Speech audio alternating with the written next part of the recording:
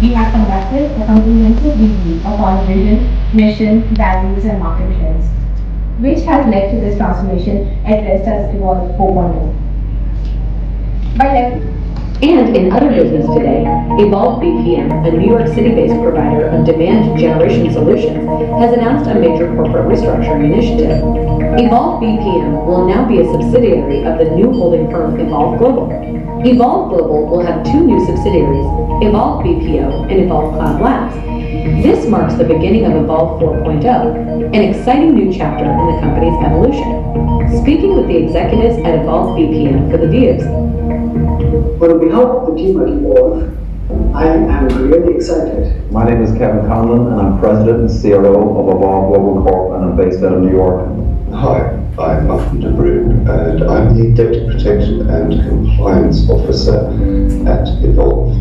And uh, I'm sure that as a group, we're Not just about moving jobs, but it's all about process reengineering, process improvement, and then implementing what we believe is the best show strategy.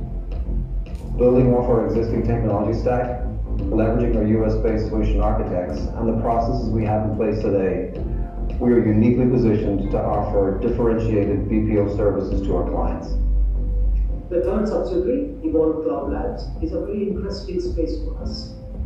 In fact, the global cloud computing market is estimated to be around $480 billion by 2022 and will grow substantially to be around $1,700 billion by 2029.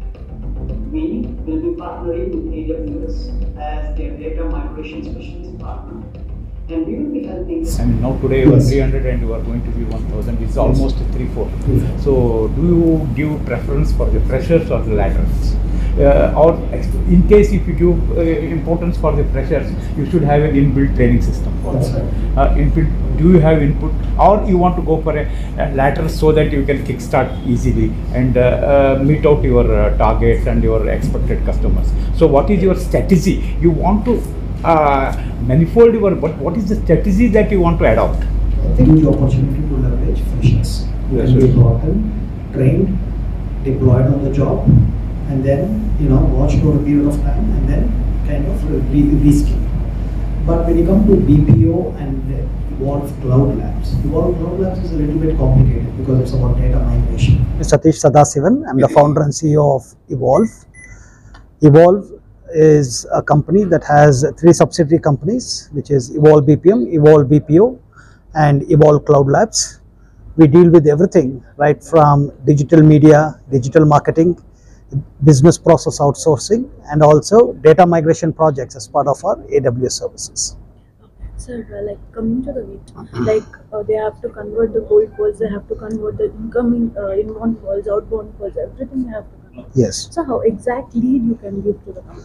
So what happens is most of the companies today, the way they come to us is they say that they have a targeted market, they have a targeted industry, and within that targeted industry, they have certain job titles that they want to talk to, or that is a qualified lead. So we have our own internal database that we have about 150 million contacts that we have. That is integrated with if uh, in this industry there is a concept called intent providers which is it kind of tracks the intent based on people's consumption. So if you're interested in something related to data security and you're looking for that on the web, that captures that as an intent, right? So we have an intent engine, the intent engine, and then we also have technology install based kind of services. So when we actually apply these wrappers around any kind of contact, the contact itself becomes more intelligent. From just being, you know, Mr. A who is working at this company, we know that Mr. A is using this kind of technology or Mr. A has actually browsed the internet and has consumed content which is related to your services. Then we share from say for example if I'm working for Google or Intel or Dell, I share the same literature saying that here is how we are providing literature or providing services in this space. And then if they consume the content, then we capture that consent and we give it to our customer saying that here is a qualified lead. Okay, in this 100% data is also going to We do only B2B, we don't do anything else.